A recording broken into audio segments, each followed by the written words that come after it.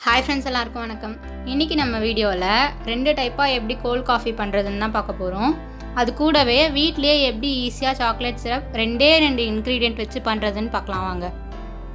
நீங்கள் இப்போ தான் ஃபர்ஸ்ட் டைம் எங்கள் சேனல் பார்க்குறீங்கன்னா மறக்காமல் சப்ஸ்கிரைப் பண்ணிக்கோங்க. கூடவே நோட்டிஃபிகேஷனையும் ஆன் பண்ணி வச்சுக்கோங்க. அப்போ தான் நாங்கள் போடுற வீடியோ எல்லாம் உங்களுக்கு உடனே நோட்டிஃபிகேஷனாக வரும். ஃபஸ்ட்டு சாக்லேட் சிரப் எப்படி பண்ணுறதுன்னு பார்க்கலாம் வாங்க. அதுக்கு ஒரு பாத்திரத்தில் ஒரு கப் அளவுக்கு தண்ணி ஆட் பண்ணிக்கோங்க. மோஸ்ட்டாக எல்லோரும் சாக்லேட் சிரப் செய்கிறதுலாம் கஷ்டம் அப்படின்னு நினச்சி கடையிலே வாங்கிடுவாங்க. ஆனால் இது செய்கிறது ரொம்பவே ஈஸி தான். வெறும் ரெண்டே ரெண்டு பொருள் மட்டுமே போதும். தண்ணி நல்லா கொதி வந்ததும் ஒரு கால் கப் அளவுக்கு சர்க்கரை ஆட் பண்ணிக்கலாம். சர்க்கரை நல்லா கரையிற வரைக்கும் மட்டுமே கிளறி விட்டுக்கோங்க. இதுக்கு பாகுபதம் வரணும் அதெல்லாம் வந்து அவசியமே இல்லை.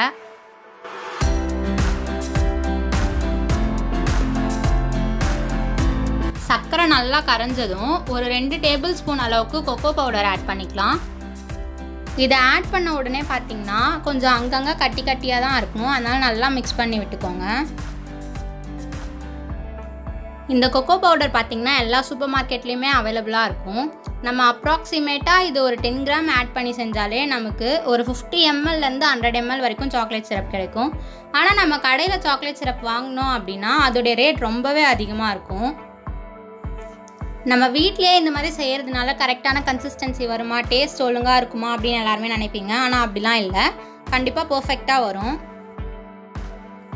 ஒரு டென் மினிட்ஸ் கண்டினியூஸாக இந்த மாதிரி மிக்ஸ் பண்ணிட்டு இருந்தாலே இந்த அளவுக்கு கன்சிஸ்டன்சி கரெக்டாக வந்துடும் இதுவே இன்னும் சூடு ஆறுன அப்புறம் இன்னும் கொஞ்சம் திக்காக ஆகும்.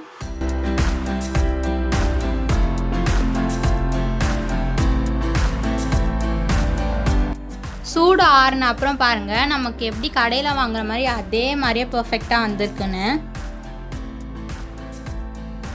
இப்போ அடுத்து கோல்ட் காஃபி எப்படி பண்ணுறதுன்னு பார்க்கலாம் வாங்க.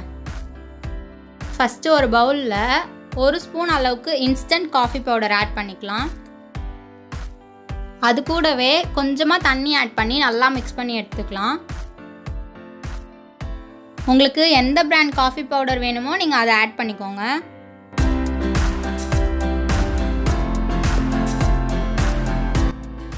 ஒரு மிக்சி ஜார் எடுத்துக்கோங்க. அதில் ஒரு கப் அளவுக்கு பால் ஆட் பண்ணிக்கலாம். பால் வந்து நல்லா காய்ச்சி ஆற வச்சு சில்லுன்னு எடுத்துக்கோங்க.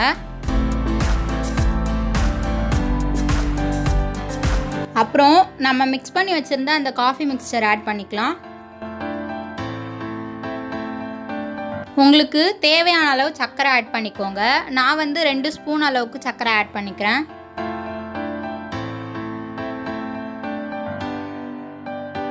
அது கூடவே ஒரு ஸ்பூன் அளவுக்கு மில்க் பவுடர் ஆட் பண்ணிக்கலாம். இது வந்து ஆப்ஷனல் தான். இதை நீங்கள் உங்களுக்கு தேவைப்பட்டால் ஆட் பண்ணிக்கோங்க. உங்களுக்கு தேவைப்பட்டால் நீங்கள் ஐஸ் க்யூப் ஆட் பண்ணிக்கோங்க. இல்லைனா ஸ்கிப் பண்ணிவிடுங்க இது எல்லாத்தையும் நல்லா பிளெண்ட் பண்ணி எடுத்துகிட்டு வந்துடலாம். நல்லா இந்த மாதிரி நுர வர அளவுக்கு பிளெண்ட் பண்ணி எடுத்துக்கோங்க. நம்ம ஸ்பூனில் எடுத்து பார்த்தோம்னா அதெல்லாம் தனியாக வரணும். அந்த அளவுக்கு பிளெண்ட் பண்ணிக்கோங்க.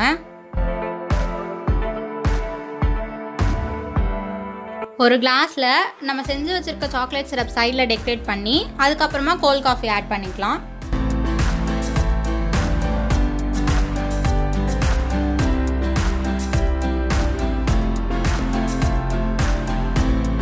கோல்ட் காஃபி ஆட் பண்ணதும் மேலேயும் கொஞ்சமாக சாக்லேட் சிரப் ஸ்ப்ரெட் பண்ணி சர்வ் பண்ணிவிடுங்க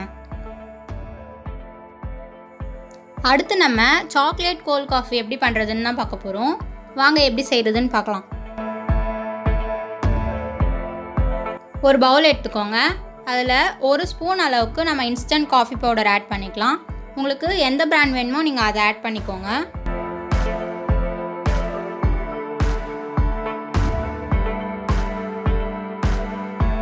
அது கூடவே நம்ம ஒரு ஸ்பூன் அளவுக்கு கொக்கோ பவுடர் ஆட் பண்ணிக்கலாம்.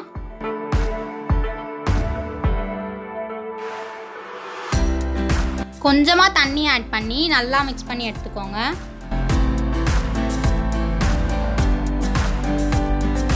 கொக்கோ பவுடர் கொஞ்சம் கரையிறதுக்கு லேட்டாக தான் ஆகும்.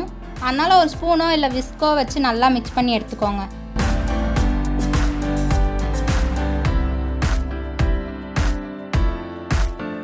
ஒரு மிக்ஸி ஜார் எடுத்துக்கோங்க. அதில் ஒரு கப் அளவுக்கு நம்ம பால் ஆட் பண்ணிக்கலாம். இதுவும் காய்ச்சி ஆற வச்சு சில்லுன்னு எடுத்த பால் தான்.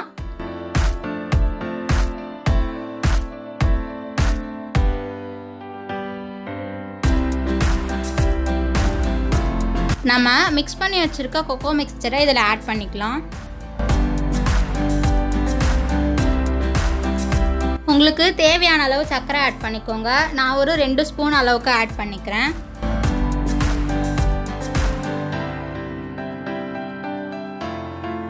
ஒரு ரெண்டு ஸ்பூன் அளவுக்கு சாக்லேட் சிரப் ஆட் பண்ணிக்கோங்க.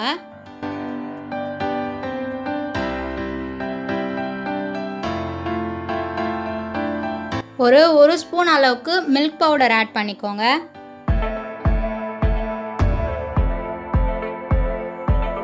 ஒரு ஒரு ஸ்பூன் அளவுக்கு வெனிலா எசன்ஸ் ஆட் பண்ணிக்கோங்க. நீங்கள் எசன்ஸ்க்கு பதிலாக வெனிலா ஐஸ்கிரீம் கூட ஆட் பண்ணிக்கலாம். கடைசியாக கொஞ்சமாக ஐஸ் க்யூப்ஸ் ஆட் பண்ணி நல்லா பிளெண்ட் பண்ணி எடுத்துக்கலாம். இதுவும் நொர வர அளவுக்கு பிளெண்ட் பண்ணி எடுத்துக்கோங்க. ஒரு கிளாஸில் சைடில் கொஞ்சமாக சாக்லேட் சிரப் டெக்கரேட் பண்ணி நம்ம எடுத்து வச்சுருக்க சாக்லேட் கோல்ட் காஃபி இதில் ஆட் பண்ணிக்கலாம்.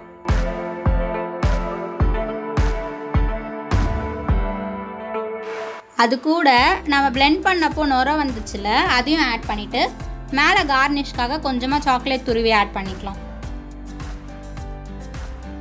இந்த மாதிரி கோல்ட் காஃபி எல்லாரும் கண்டிப்பாக ஒரு வாட்டி ட்ரை பண்ணி பாருங்கள் ஃப்ரெண்ட்ஸ் ட்ரை பண்ணி பார்த்துட்டு எப்படி இருந்துச்சுன்னு கமெண்ட் பாக்ஸில் சொல்லுங்கள் பிடிச்சிருந்தா லைக் பண்ணுங்கள் தேங்க்யூ ஃபார் வாட்சிங்